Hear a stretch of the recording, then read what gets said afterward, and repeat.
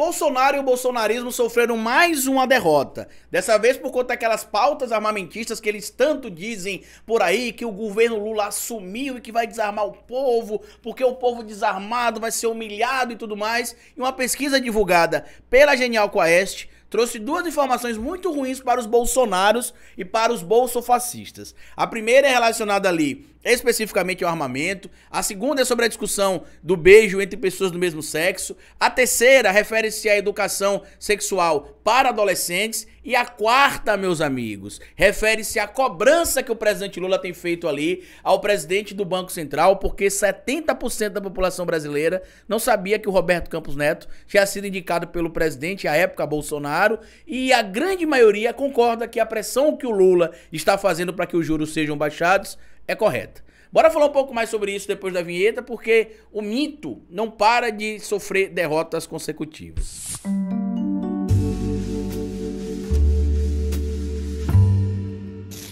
Pois bem, meu povo, antes de seguir esse vídeo, eu queria pedir a você que deixasse like no começo do vídeo, porque se deixar lá pro final você esquece. E queria pedir a você também, se puder colaborar com o nosso trabalho, que deixe like nesse vídeo, que compartilhe, que mande para outras pessoas, que siga a gente no Facebook também. E se puder ser membro, apoiador, ajuda. E se quiser colaborar com o nosso Pix, Pix do canal, é esse que vai aparecer. Cadê ele, meu Deus? É esse aqui que vai aparecer para vocês. Hoje não tem Pix? Tem? Tem. Aqui, ó.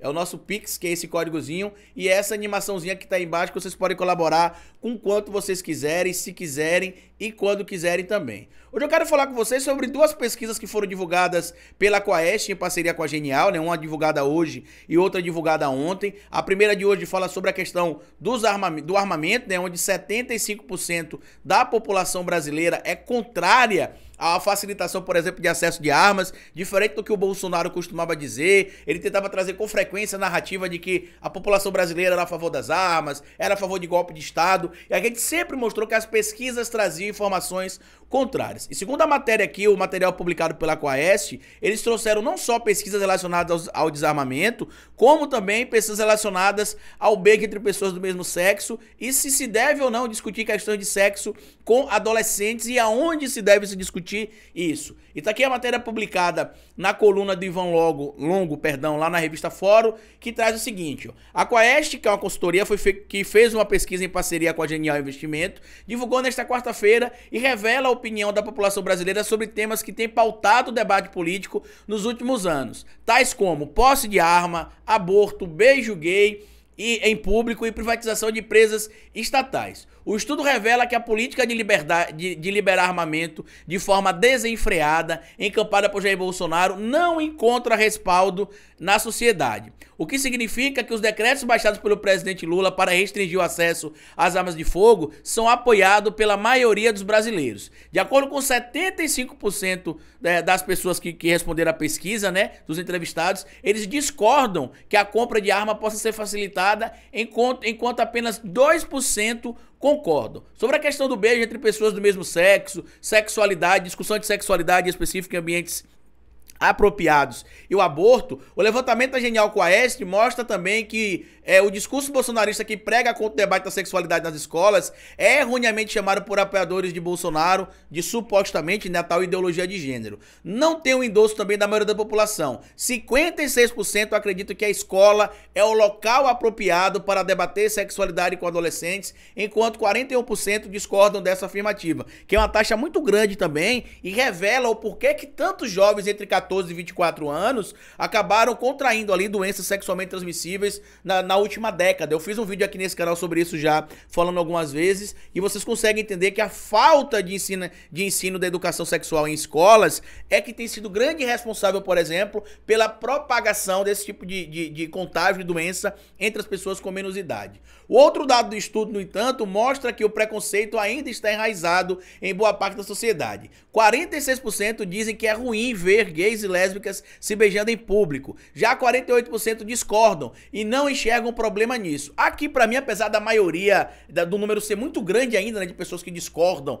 é, é, de que se veja em público beijos de pessoas do mesmo sexo, a gente tem uma maioria que não vê problema algum. E isso já é uma vitória em uma sociedade extremamente conservadora, preconceituosa machista, homofóbica, misógina e patriarcal.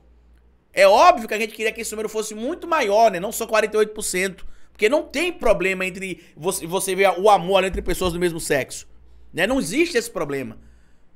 Mas mesmo assim a diferença tá pequena ali, né? 46% ainda vem problema, 48% não vem problema, mas já é um avanço, tá? Sobre o aborto, a pauta ainda é muito conservadora, 72% afirmam que não apoiam a legalização é, do, do procedimento no Brasil, enquanto 25% apoiam a legalização. Outro ponto que foi questionado também na pesquisa é se os bolsonaristas têm liberdade de expressão ou não. E aí, para 54%, é, dos entrevistados, eles discordam, eles dizem sim que os bolsonaristas exercem a liberdade de expressão, porque a pergunta dizia se eles concordam que os bolsonaristas não têm a liberdade de expressão respeitada. E ali a, a pesquisa respondeu que eles discordam, que sim, eles têm sim o direito à liberdade de expressão, enquanto 39% dizem que eles não têm liberdade de expressão. E aqui eu vou deixar para vocês, inclusive, os gráficos, tá? Para vocês consultarem aí de, de, tudo que a gente falou aqui. E aqui vem a cereja do bolo. Por quê? Porque numa pesquisa divulgada ontem também pela Quaest, tá? Se questionou se a população brasileira achava que o Lula estava certo ou errado em tentar forçar a queda da taxa de juros. E 76% das pessoas consultadas disseram que o presidente Lula tem razão sim em cobrar a redução da taxa de juros. 16% disseram que o Lula não tinha razão e 8% disseram que o Lula que não sabiam responder. E outra informação que chamou muita atenção também para as pessoas é que foi perguntado na pesquisa da Genial Quaest também para as pessoas que foram consultadas ali, né, se eles sabiam que o presidente do Banco Central, Roberto Campos Neto, foi indicado pelo Bolsonaro. Apenas 28% dos brasileiros sabiam disso. 70% não sabiam. Ou seja, tava na narrativa dessa galera aí que tá dizendo que não, o Banco Central agora é independente e com independência é muito melhor para a gente poder discutir é, políticas econômicas e tudo mais, porque o governo não pode interferir. E a gente tá vendo agora que o Roberto Campos Neto tá agindo para sabotar a economia brasileira, tanto que se vocês acompanham noticiários econômicos com economistas sérios, eles têm rebatido que não existe justificativa para essa alta ou manutenção dos juros nos valores que estão no Brasil. A gente tem visto com, com, com frequência em vários portais aí, canais, canais do YouTube, canais da TV aberta, mostrando isso pra gente. Eu queria que você desse a opinião de vocês. Queria também que você compartilhasse esse vídeo com outras pessoas. Lembrando a você que a gente vai começar a fazer alguns testes aqui nesse canal. A gente vai fazer sempre dois vídeos por dia. É na terça e na quinta-feira. E de segunda, a, de segunda a quarta e sexta, três vídeos. Hoje eu não sei se a gente vai ter os três vídeos, porque eu queria falar muito desse tema. Eu queria que esse tema engajasse muito hoje, porque é muito importante. Mas eu espero que a gente consiga compartilhar esse material com o máximo de pessoas. Porque isso é uma derrota pro Bolsonaro e pro bolsonarismo, tá bom? Tudo que eu falei pra vocês tá fixado aqui no primeiro comentário fixo. Se puder compartilhar, compartilhe, se inscreva no canal, deixa like, siga a gente no Facebook, tanto do canal Historiador quanto da Folha Democrata, que o link tá aqui no primeiro comentário fixo. Amanhã a gente vai ter o Lenin Streck aqui nesse canal, é uma live às sete e meia da noite. E como eu sempre digo aqui no final de cada vídeo para vocês, é melhor escrever errado a coisa certa do que escrever certo a coisa errada. Até nosso próximo vídeo.